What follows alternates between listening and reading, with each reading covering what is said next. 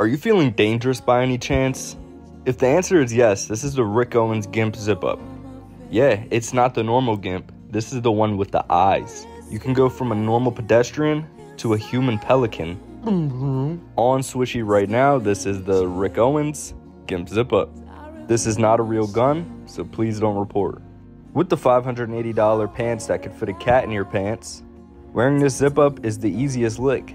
Fuck you. That's what all the people are gonna say when you run up and take their cheese. Is it worth it?